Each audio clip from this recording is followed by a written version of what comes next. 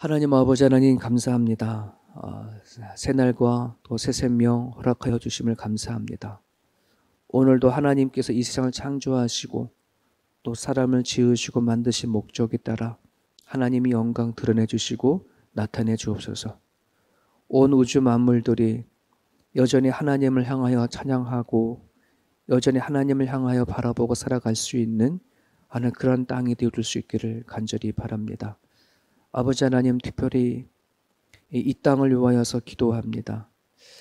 살아본 어, 살아가는 이 세상이 참 많이 위기가 처해져 있는 것을 보고 우리 힘으로 할 수 없는 일들이 끊임없이 드러나고 나타나는 것을 바라봅니다. 하나님 이럴 때일수록 겸허하게 우리 자신들을 돌아볼 수 있도록 도와주시고 우리들이 인간이 가지고 있는 것이 얼마나 연약한지를 깨닫게 하여 주셔서 겸손히 하나님 앞에 우리 주어진 인생들을 생각하고 살아가는 우리 모두가 되을 수 있도록 하나님 도와주시옵소서. 우리 힘으로 할 수 없는 것이 너무나 많이 있습니다. 아, 주님 깨닫는 영을 주님께서 부어 주시옵시고 또 하나님을 향하여 대적하는 자들 향하여 하나님의 정의와 공의와 하는 심판을 하나님께서 허락하여 주시되 아버지 하나님 주님을 찾는 자와 그러지 아니하는 자를 분별하여 주시기를 간절히 바랍니다. 또 오늘도 주님을 향해 달려 나온 권석들을 기억해 주시고 아버지께 약한 자를 들어 강한 자를 부끄럽게 하시고 성한 갈대를 꺾지 아니하시고 꺼져가는 심지를 끄지 아니하시는 주님의 선하신 방법대로 오늘도 주님 앞에 나와 간구하는 자를 통하여 일하여 주시기를 간절히 바랍니다. 오늘도 우리에게 맡겨주신 하루를 살아갈 때에 하나님이 주신 말씀을 통하여 기준 삼아 살아갈 수 있도록 도와주시어서 옳고 그름을 잘 분별하는 그런 또 삶을 살아갈 수 있도록 성령께서 가르쳐 주옵소서. 예수님의 이름으로 기도합니다. 아멘. 히브리서 13장입니다. 히브리서 13장 매일 성경 본문이 어제와 오늘 13장이고요. 오늘부터 13장을 끝으로 내일은 시편이 이어지더라고요. 이어지더라고요. 그래서 오늘은 시편 13 아니 히브리서 13장 10절에서 어, 19절까지 보겠습니다.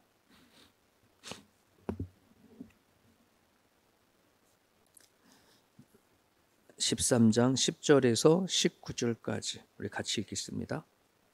우리에게 재단이 있는데 장막에서 섬기는 자들은 그 재단에서 먹을 권한이 없나니 이는 죄를 위한 짐승의 피는 대제사장이 가지고 성소에 들어가고 그 육체는 영문 밖에서 불사름이라. 그러므로 예수도 자기 피로써 백성을 거룩하게 하려고 성문 밖에서 고난을 받으셨느니라. 그런즉 우리도 그의 치욕을 짊어지고 영문 밖으로 그에게 나아가자 우리가 여기에는 영구한 도성이 없으므로 장차 올 곳을 찾나니 그러므로 우리는 예수로 말미암아 항상 찬송의 제사를 하나님께 드리자. 이는 그 이름을 증언하는 입술의 열매니라. 오직 선을 행함과 서로 나누어 주기를 잊지 말라. 하나님 이 같은 제사를 기뻐하시느니라. 너희를 인도하는 자들에게 순종하고 복종하라 그들은 너희 영혼을 위하여 경성하기를 자신들이 청산할 자인 것 같이 하느니라. 그들로 하여금 즐거움으로 그것을 하게 하고 근심으로 하게 하지 말라. 그렇지 아니하면 너에게 유익이 없느니라. 우리를 위하여 기도하라. 우리가 모든 일에 선하게 하려 행하려고 하므로 우리에게 선한 양심이 있는 줄을 확신하노니 내가 더 속히 너희에게 돌아가기 위하여 너희가 기도하기를 더욱 원하노라. 아멘.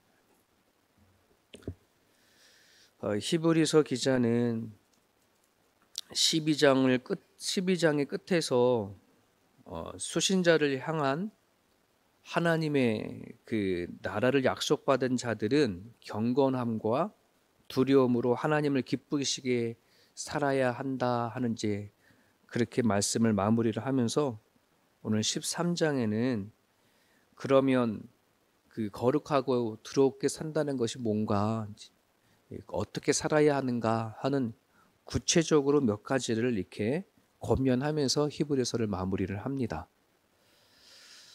저나 여러분들이나 예수 그리스도를 통해서 하나님의 부름을 받았고 또 하나님의 약속을 받은 사람들 세상을 어떻게 살아가야 되어지는지 잘 알고 있죠.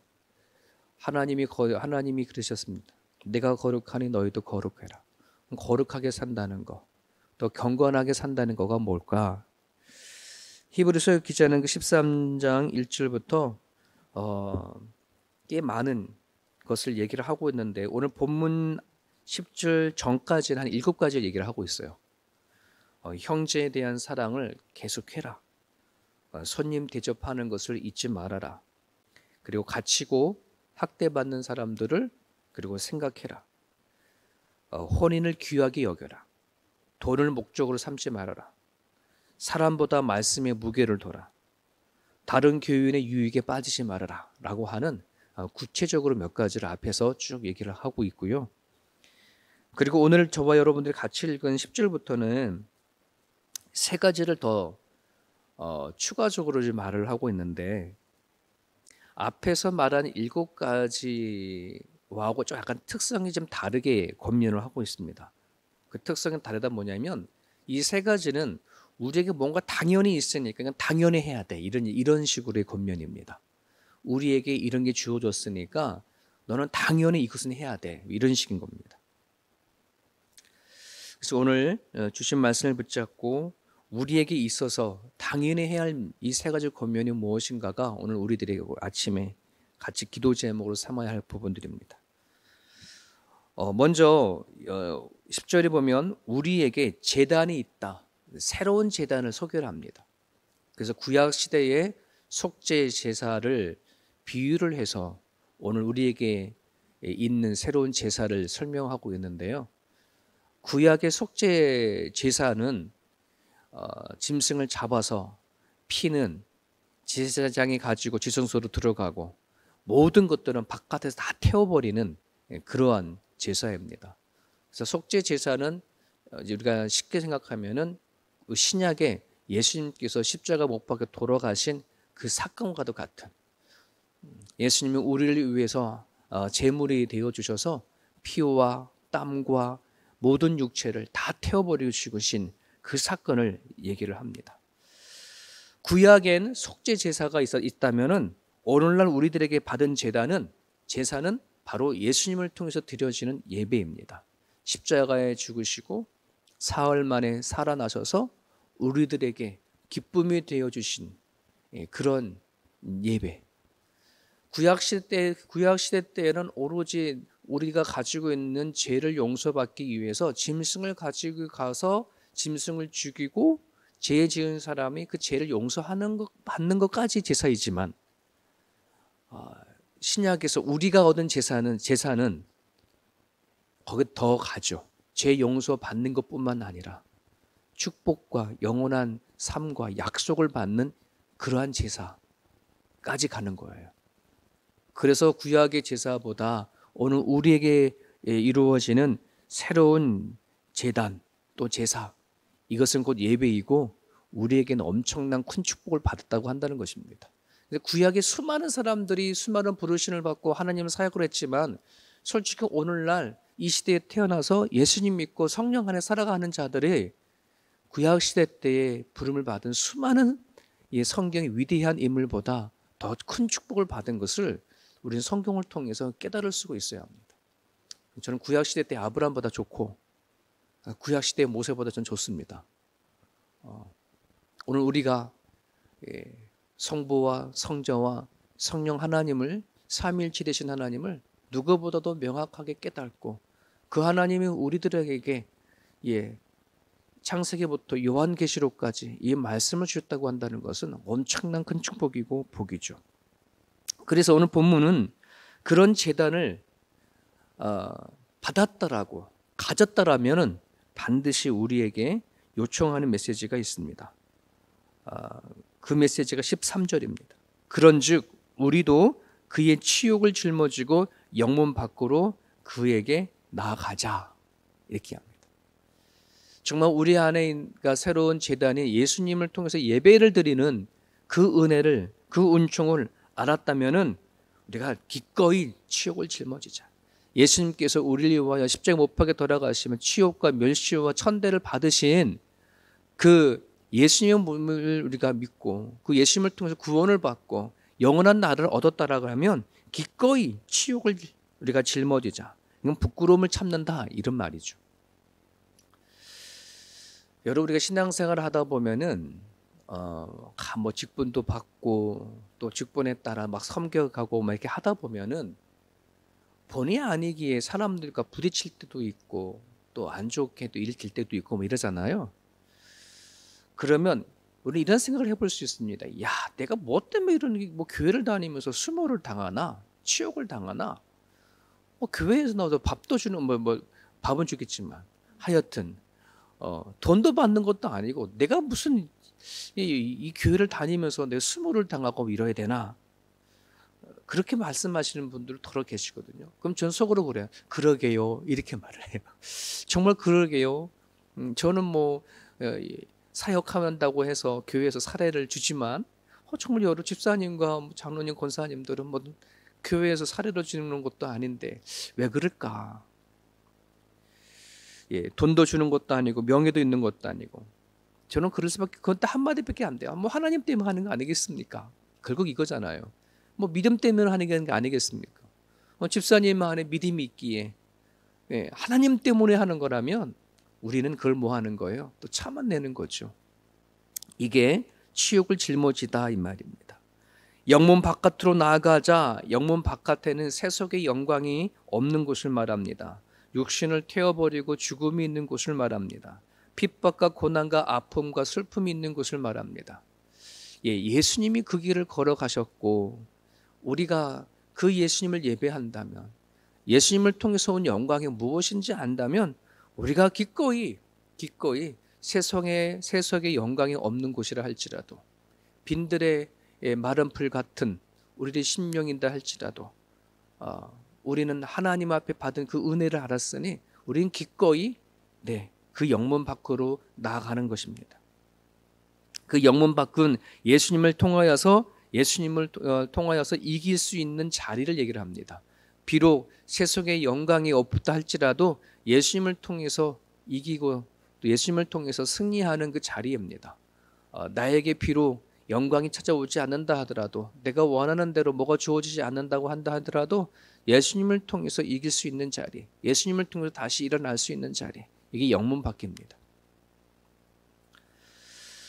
그런 부분들 안에서 오늘 우리들이 기도 제목을 삼을 부분 이 부분들입니다. 정말 내가 하나님 앞을 받은 예배가 우리 가운데 있다면 예배 재단이 우리 가운데 있다고 한다면 내가 신앙생활을 하든 또 가정 안에서의 삶을 살아가든 우리가 예수님이 걸어가신 그 길을 함께 걸어낼 수 있기를 간절히 바랍니다.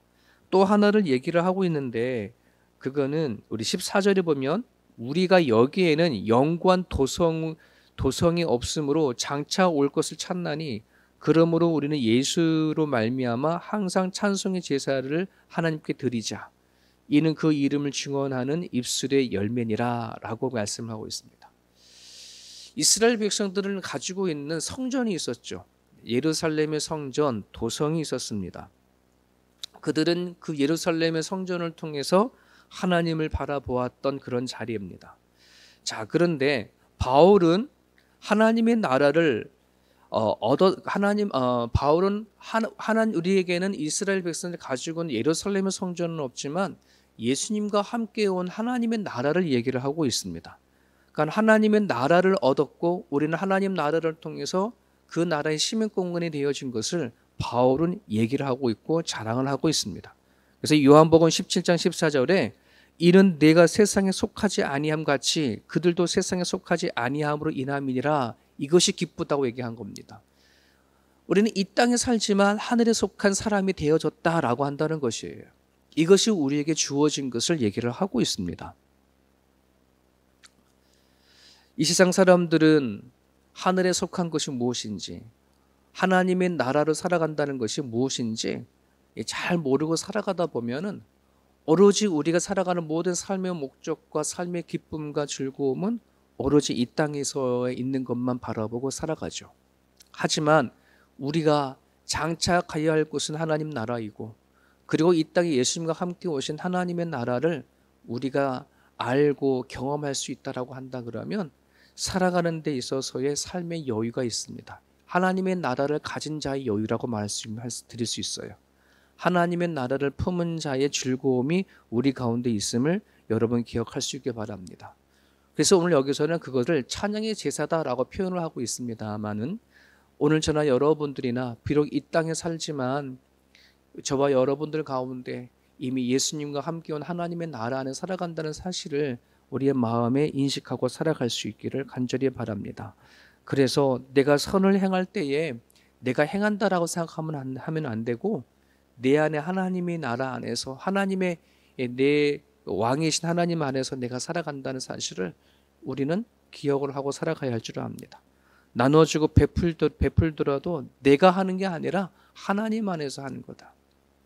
천국을 소유한 자는 자는 내 것이 없고 오직 하나님 것만이라는 사실을 우리가 기억했으면 좋겠습니다. 우리 제가 우리가 말씀을 전하면서 또 기도 제목을 삼으면서 우리 마지막 사명을 잘 감당합시다 이런 말을 자주 하는데요. 그 마지막 사명이라는 것은 다른 것이 아니라 하나님의 나라, 오늘 우리 가운데 임한 하나님의 나라를 선포하며 살아가는 것. 결국 그것이 우리에게 마지막 사명이거든요. 내가 만나는 사람들에게, 내가 양육하고 키워가는 자녀들에게, 또 내가 만나고 살아가는 내 이웃에게 우리가 전화할 것은 뭐냐면 하나님의 아름다운 덕을 선전하는 것. 이것을 통해서 우리가 부름을 받았다고 하는 거거든요. 그러니까 내가 하나님의 나라 안에 거하지 아니하게 되면 그것이 무엇인지 깨달지 못하면 내가 살아가는데 하나님의 덕을 선전하며 살아갈 수 없어. 여전히 그냥 내가 가진 것을 가지고 나눠줄 뿐이고 내가 가진 것을 가지고 베풀 뿐이고 내가 누리는 것을 조금 나눠주는 것밖에 되지가 않아요.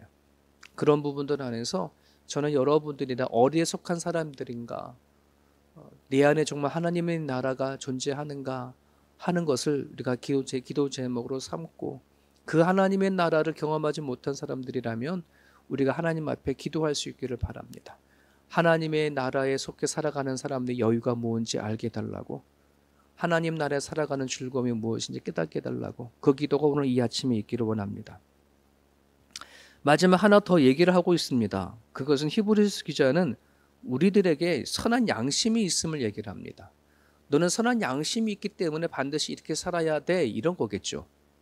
근데 양심은 양심인데 선한 양심이고 그런 선한 양심이 있으면 악한 양심도 있, 있을 거 아니에요. 그죠? 우리 양심하게 되어지면 그냥 다 좋은 양심이겠다라 할지 모르겠지만 아니더라고요. 이 양심도 선한 양심이 있고 거짓 양심이 있어요. 그게 뭐냐? 그럼 우리는 선한 양심을 언제 가졌냐? 성경은 우리가 베드로전서 3장 21절에 보면은 그 선한 양심을 우리가 세례를 받을 때부터 시작되어진 것을 얘기를 하고 있습니다. 베드로전서 3장 21절 물은 예수 그리스도의 부활하심으로 말미암아 이제 너희를 구원하는 편이 곧 세례라 육체의 더러운 것을 제하여 버림이 아니요 오직 선한 양심이 하나님을 향하여 찾아가는 것이다. 베드로가 하나님의 베드로를 통해서 우리에게 알려주시는 것은 그냥 우리가 세례받은 것은 우리가 가지고 있는 죄를 제거하고 죄 용서하는 받은 것이 아니라 우리들 안에 양심이 선한 양심이 시작이 되어져서 그 선한 양심이 하나님을 향하여 찾아가는 것 이것을 가지고 세례다라고 얘기를 하고 있는 것이에요. 죄 용서 받은 것에 대한 세례이기보다 이제 우리가 예수님 안에 새로 거듭났고 무엇이 선하고 무엇이 악한 것을 구분할 수 있는 그 양심을 가져서 내가 살아가는 삶의 그 자리 안에 하나님을 향하여 찾아가는 것 이게 선한 양심이라고 한다는 부분들입니다. 여러분 로마서 1장에 보면 말도 안 되는 21가지가 사형에 해당한다라고 성경 얘기하고 있습니다.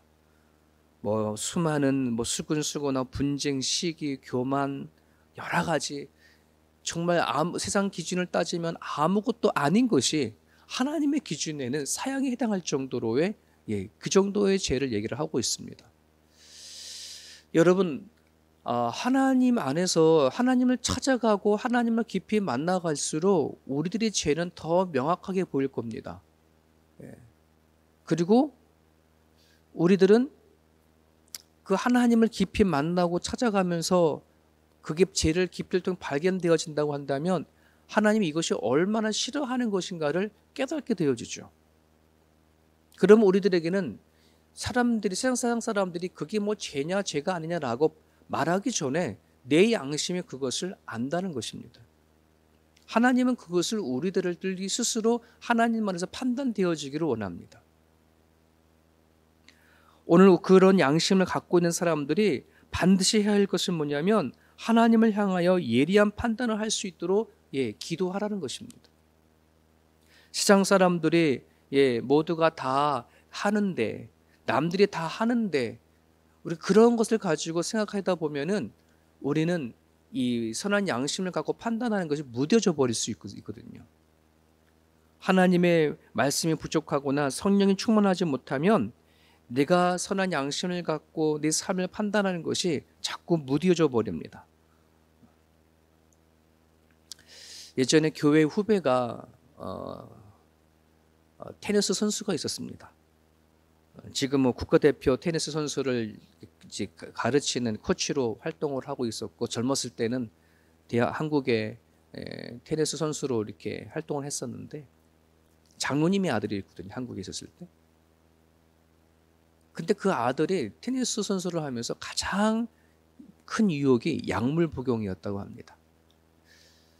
어, 국제 대회에 나가기 전까지는 에, 뭐 날마다 시합을 하거나 막 이러면 한국에서 약물 테스트를 자주 하지 않았답니다.